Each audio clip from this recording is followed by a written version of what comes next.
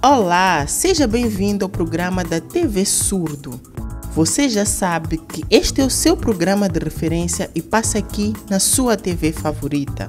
Olá, Souza, tudo bem? Ótimo, Carla. Hum, vejo que hoje estás bastante animada, hein? Souza, eu sou uma pessoa animada. Telespectador, este é o programa da TV Surdo, que é produzido e apresentado por surdos para todos os moçambicanos. Por isso, o nosso lema é Mídia Inclusiva. Antes de avançarmos com os destaques, saiba que se não puder acompanhar este programa até ao fim, não precisa se preocupar. Você pode vê-lo através da nossa página do YouTube, mas só a partir desta segunda-feira. Sim, só tens que ir ao YouTube e escrever TV Surdo Moçambique e poderá assistir também os programas anteriores. Muito bem, agora vamos aos destaques. Saiba por que Edmilson Governo está triste com o Ministério da Juventude e Desportos. Que doenças o consumo de cigarro pode causar? Uma cadeira de rodas para a menina Delfina. O cigarro é dos produtos mais comercializados no mundo e, ao mesmo tempo, o que mais mortes causa. Mais de 50 doenças são causadas pelo consumo do cigarro, com destaque para doenças pulmonares e cardiovasculares. Sou, sou, sou muito viciado mesmo. Eu, quando fumo um cigarro, mais ou menos, tenta mais ou menos atenuar o, o meu estresse. O tabaco vicia com facilidade, tal como explica Fidelio Zunguzi, fumador há quase 40 anos. Ele começou no bairro, influenciado por um grupo de dança. Tínhamos aquela companhia de dança já a dançar ali. É quando a gente começou a experimentar o cigarro e ganhamos o vício. Zunguzi revela que muitas vezes o cigarro se associa ao álcool. O cigarro mais a bebida são coisas conjuntas, né? Vale a pena deixar de fumar, continuar a beber, mas quando a pessoa bebe, necessita de um cigarro. O tabaco é causador de mais de 50 doenças no homem. Algumas podem levar à morte. Entre elas, podemos destacar os problemas respiratórios, os problemas circulatórios. Quando falamos de problemas respiratórios, estamos a falar, por exemplo, de asma, estamos a falar de tuberculose. Quando falamos de problemas circulatórios, estamos a falar, por exemplo, da hipertensão arterial. Mas também é preciso mencionar que o, o, o, o, tabaco causa cancro. Temos o cancro da boca, o cancro da, da laringe, o cancro da faringe, o cancro dos pulmões, entre várias outras doenças que podem ser causadas pelo tabaco, sem se esquecer do lado que, por exemplo, para os homens, o tabaco pode causar problemas de impotência sexual e para as mulheres o risco de nascimento de fetos com baixo peso. Moçambique, 15% dos homens e mulheres e 14% dos adolescentes e jovens são fumadores. Estima-se que mais de 20% dos adolescentes e jovens estão em risco de fumar nos próximos anos, devido à exposição a ambientes de consumo de cigarro. Mentes críticas para momentos críticos. O papel dos mídia para o desenvolvimento de uma sociedade pacífica, justa e inclusiva. Este foi o lema do Dia Mundial da Liberdade de Imprensa, assinalado no passado dia 3 de maio.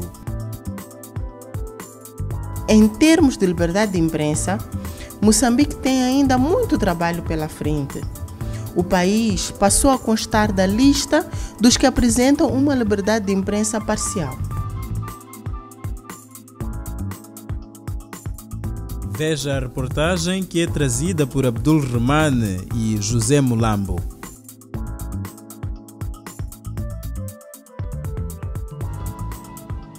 Celebrou-se a 3 de maio, Dia Mundial da Liberdade de Imprensa. Jornalistas moçambicanos consideram que o país está num bom caminho, embora haja desafios a serem ultrapassados. Temos estado a ver capas hoje que até em algum momento criam, portanto, debates bastante acesos sobre o, o, o, o, nível de liberdade de imprensa que nós temos, sobre, portanto, uh, como é que se está a tratar, por exemplo, figuras, figuras até ao mais alto nível, como o próprio alto, o mais alto magistrado da nação, o chefe de Estado moçambicano.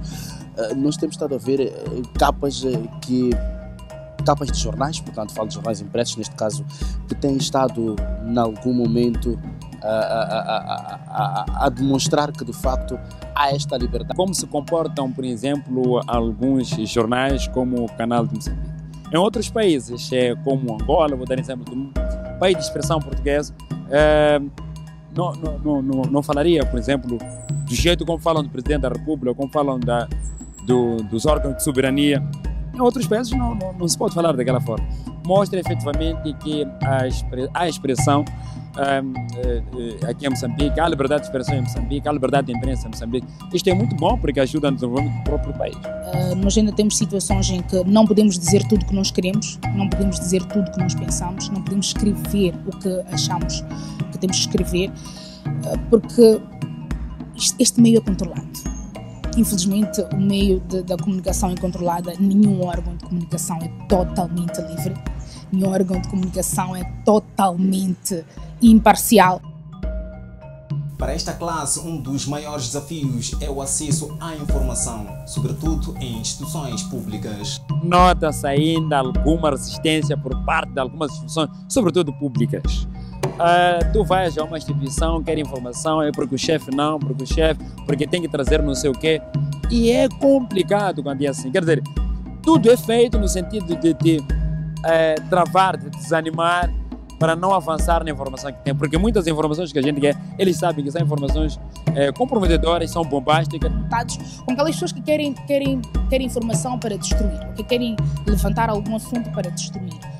Mas não é muito bem assim. Há que compreender aqui que o jornalista não está simplesmente para trazer informação bombástica. O jornalista quer simplesmente trazer a verdade, o jornalista quer simplesmente informar.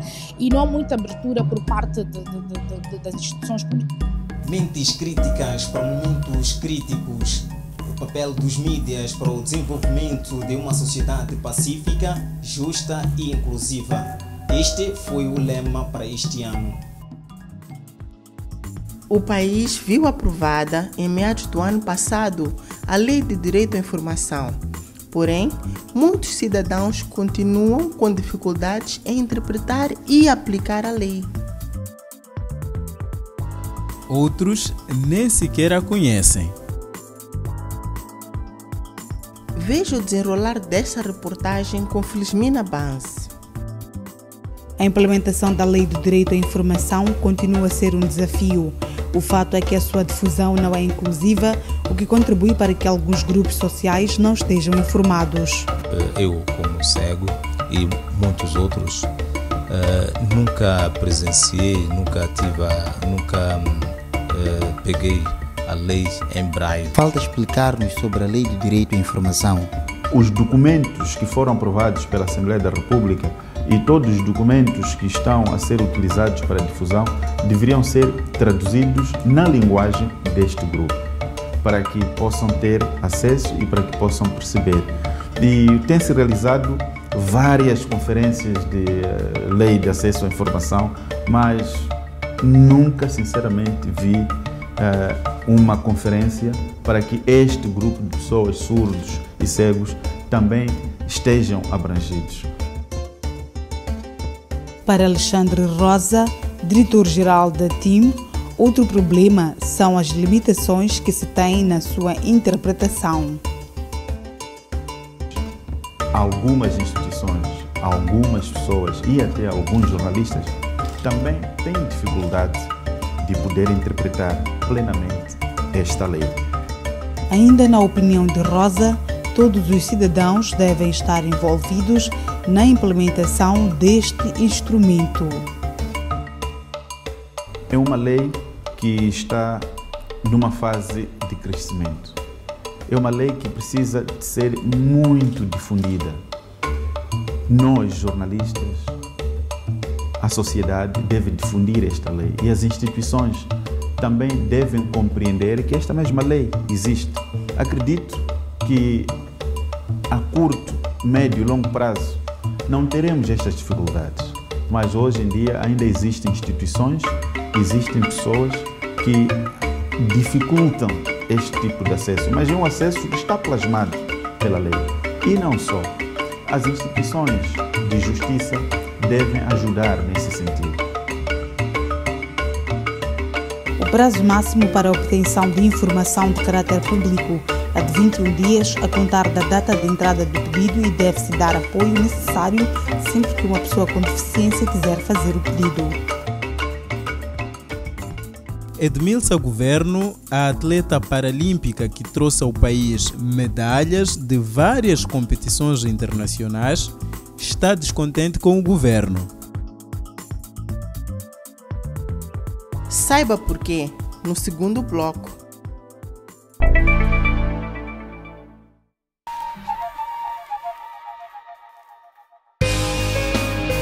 Gostou? As nossas publicações são sempre acompanhadas de um vídeo que está acoplado à nossa página de YouTube. TV Surdo Moçambique. Você pode também subscrever a nossa página para receber atualizações constantes em primeira mão. Estamos também presentes no Facebook e no Twitter. Está curioso? Experimente agora. Aceda já www.tvsurdo.org.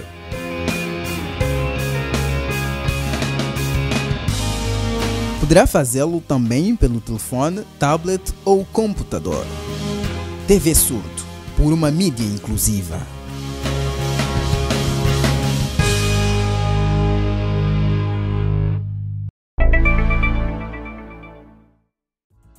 Olá, bem-vindo de volta ao segundo bloco do nosso programa. No bloco anterior, falamos de como o cigarro é prejudicial à saúde. Vimos igualmente a posição que Moçambique ocupa no que diz respeito à liberdade de imprensa em África e no mundo. Agora, vamos ao desporto. A atleta paraolímpica Edmilsa Governo está triste com o Ministério da Juventude e Desportos. Ela reclama uma bolsa dada após ter ganho a medalha de bronze nos Jogos do Rio de Janeiro em 2016. A velocista diz não entender por que ainda se encontra no país.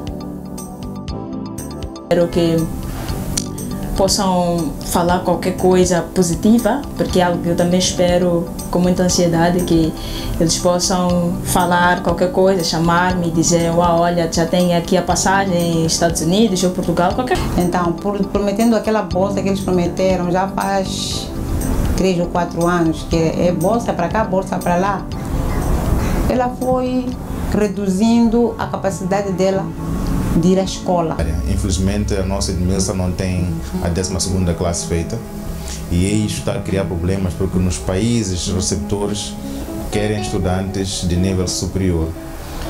Então temos, que, temos agora que submetê-la a um exame extraordinário para que ela possa fazer estas, estas, estas provas de 12 classe. Aquilo são tantos atletas que saem para fora, mesmo sem a 12 classe, têm acesso à bolsa. A atleta também reclama das condições de trabalho. A questão do estágio que colocou-se há pouco tempo aos atletas de canoagem deixou-me um pouco triste porque até o ano passado eu estive a sofrer, mas por causa de, da falta de estágio que devia levar-me até o Rio, boas condições, mas não pude ter tudo isso. Então eu acompanhei aqui há pouco tempo, os atletas viajaram para os africanos, Jogos Africanos, eu também já tive nos Jogos Africanos, já ganhei uma medalha nos Jogos Africanos de ouro, já quebrei o recorde africano e, enfim, fui aos Jogos Paralímpicos, então eu esperava que qualquer coisa pudesse mudar. Edmilsa considera-se vítima de discriminação. Da discriminação, né? Que eu acho que ainda está a reinar, porque pelo que eu vi, a minha volta do Rio não mudou nada. Edmilson Governo é atleta do Clube de Esportes do Majet. Entrou para o atletismo com 7 anos de idade e com 14 ganhou as primeiras medalhas internacionais. Preparem, por favor, uma bolsa de estudos para essa atleta.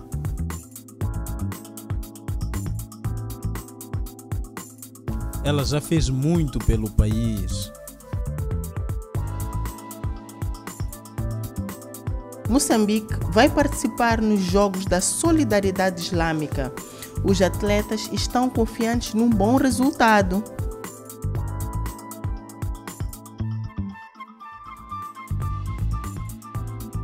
Os jogos serão realizados em Azerbaijão de 13 a 23 de maio. Atletas moçambicanos de cinco modalidades vão representar o país nos Jogos da Solidariedade Islâmica, que terá lugar de 12 a 22 de maio em Azerbaijão. O Comitê Olímpico espera bons resultados. Façam o melhor que puderem fazer. Como sabe, estamos quase no início das épocas desportivas em Moçambique. Algumas federações tiveram oportunidades uh, de se prepararem e participarem em competições fora do país, que é para assegurar que essa prestação, esse desempenho seja melhor. Estou a falar especificamente do Karatê, conseguiu ir a Dubai, a Doha, não, e conseguiu também trabalhar na África do Sul. Para falar do atletismo, que também esteve no Open na África do Sul, como forma de se prepararem para que o seu desempenho seja melhor. Em entrevista à TV Surdo, alguns atletas disseram que a preparação não foi das melhores. Preparado como, como esperava, não tive nenhuma preparação, nem estágio, mas darei meu máximo para chegar até a final. Treino, a preparação para o treino não foi das melhores, devido ao tempo de frio agora que entramos e devido à interdição da piscina no Zimpeto. Mas isso não é uma justificação e vamos ver o que vamos encontrar lá. Moçambique vai participar nos Jogos da Solidariedade Islâmica que vai acontecer na Azerbaijão de 13 a 22 de maio. Os atletas estão confiantes na boa prestação. Dar o meu máximo acima de tudo, fazer o meu melhor e representar da melhor forma possível Moçambique. É a primeira vez a, a participar nos Jogos. Há muita coisa, muita coisa de bom e de mal que me espera lá certos adversários, são muitos adversários que não conheço, outros conheço, que estão à altura também, que esperam arrecadar alguma coisa lá. Para sendo a primeira vez né, a participar eh, nos Jogos Islâmicos, estou muito entusiasmado e muita ansiedade ao mesmo tempo. E... níveis são boas, ah, como também nunca participei, não sei qual é o nível de competição que vou encontrar lá. É a segunda vez que o país faz parte desta competição, agora com cinco modalidades, depois de 2010 ter participado com atletismo apenas. Esperamos que nos tragam mais prêmios e prestígio. Bom, vamos a mais um pequeno intervalo. Voltamos num piscar de olhos.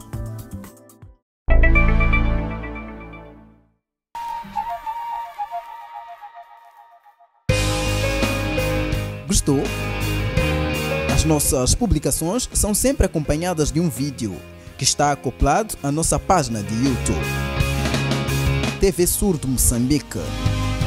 Você pode também subscrever a nossa página para receber atualizações constantes em primeira mão. Estamos também presentes no Facebook e no Twitter.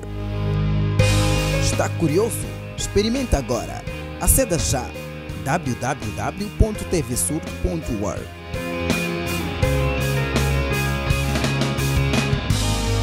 Poderá fazê-lo também pelo telefone, tablet ou computador.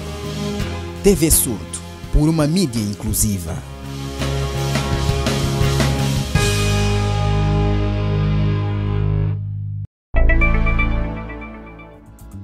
Olá mais uma vez.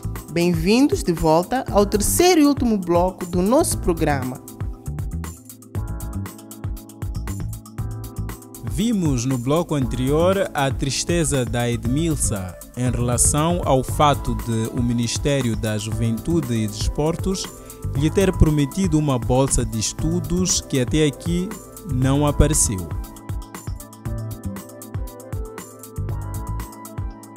Edmilsa Governo é a atleta paralímpica mais destacada em Moçambique.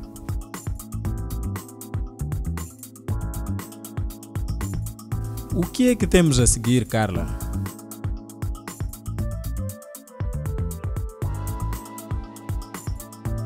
A TV Surdo deslocou-se até o bairro Patrício Lumumba para oferecer uma cadeira de rodas à Delfina.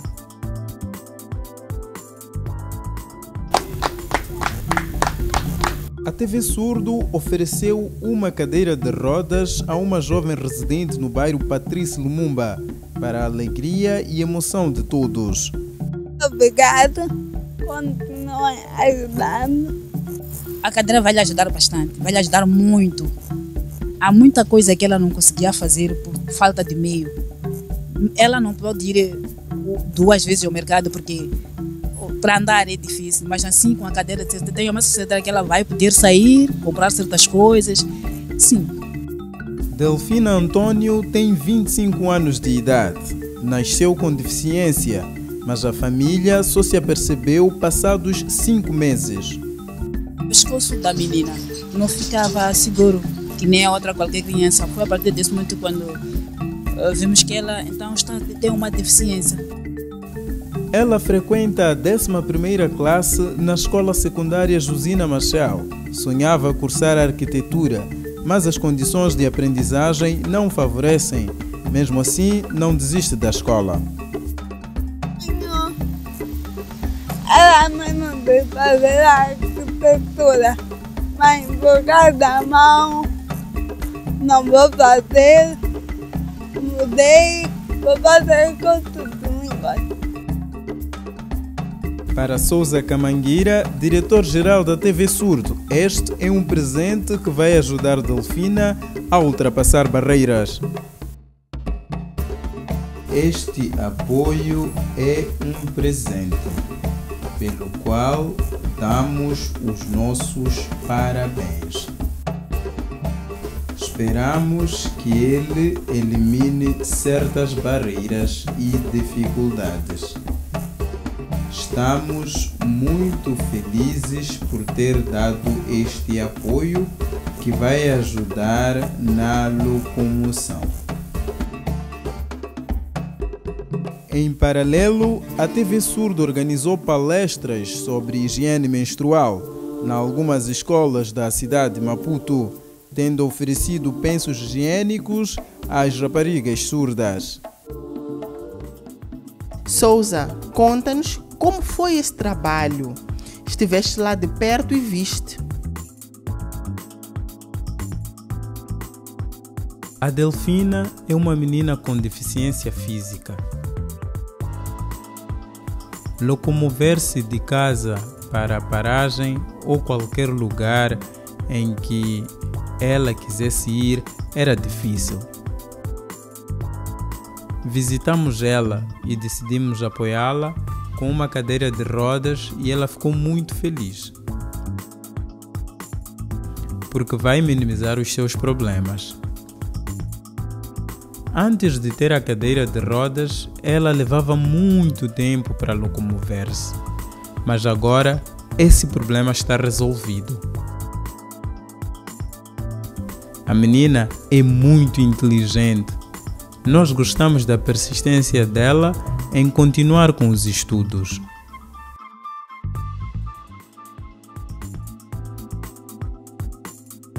Agora ela está a frequentar a 11ª classe.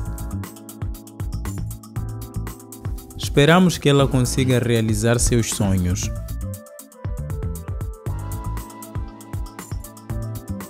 Muito bem.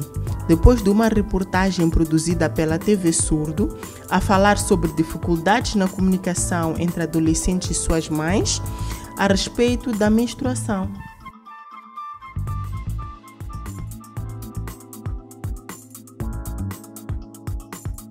A TV Surdo reuniu parceiros e realizaram uma campanha de oferta de pensos higiênicos em três escolas.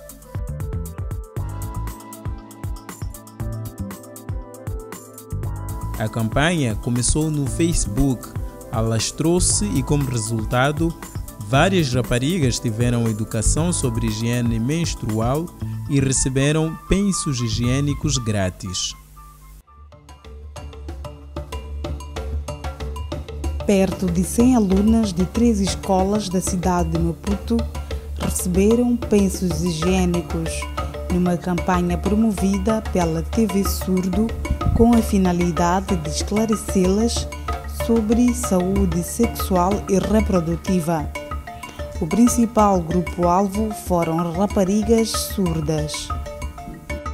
O nosso principal objetivo que nos motivou a elaborar esta campanha, assim como a realização das palestras, é que notamos que existe uma grande falta de informação no que concerne a saúde, saúde sexual e reprodutiva. Muitas raparigas simplesmente têm um atendimento diferenciado em casos quando se trata deste tema. Elas não são, são tão bem informadas quanto as irmãs ou primas, sobrinhas que vivem dentro do mesmo lar, isso porque os pais não conversam sobre esses temas com eles. Tivemos uh, uma, uma, uma abertura dos alunos em que tivemos algumas uh, raparigas que falaram connosco sobre a primeira vez que tiveram a menstruação, como se sentiram e o facto de não saberem o que fazerem, que é uma das coisas que nós com estas palestras tentamos uh, remediar, é dar informação antes que as raparigas tenham o período. As adolescentes agradeceram o gesto e lamentaram o fato de conversarem pouco sobre saúde sexual e reprodutiva com as suas mães, o que as impossibilita de entenderem algumas mudanças no seu corpo.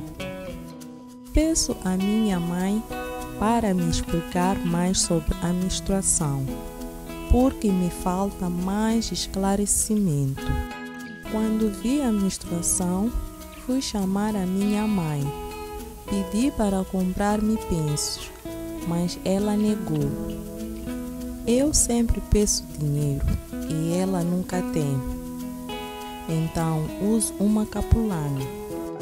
Para Eugênia Tsowo, técnica de saúde no MISAU, esta campanha é importante, pois ajuda os adolescentes a compreenderem a sua sexualidade. Ah, para a saúde significa muito, porque os jovens ficam mais informados em relação à sua saúde sexual, como tratar da menstruação como proteger-se da gravidez e como proteger-se das doenças durante o ato sexual. A campanha, que visa distribuir 500 pacotes de pensos higiênicos, foi promovida nas redes sociais. A próxima fase já está a ser preparada. Muito bem, estamos na reta final do nosso programa. Agora é hora de aprendermos língua de sinais. Olá, conhece a língua de sinais moçambicana? Ela não conhece a língua de sinais moçambicana. Vamos ensinar-lhe. Tio, tia, sobrinha, sobrinho, namorado.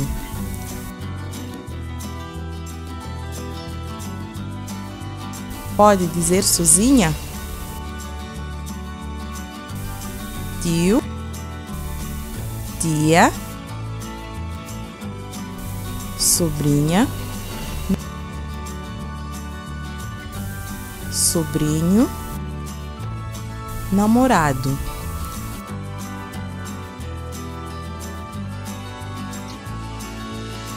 Parabéns. Olá, conhece a língua de sinais moçambicana? Ela não conhece a língua de sinais moçambicana. Vamos ensinar. Tia, tio, sobrinho, sobrinha, namorado. Pode dizer sozinha?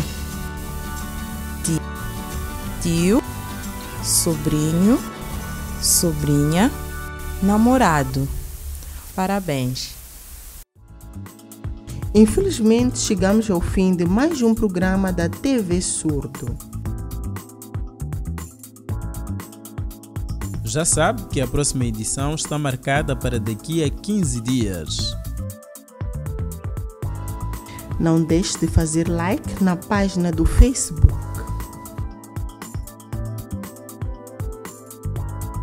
E lembra-te que pode acompanhar estas e outras notícias no nosso canal do YouTube. Esperamos por si na próxima edição. Até lá, fique bem.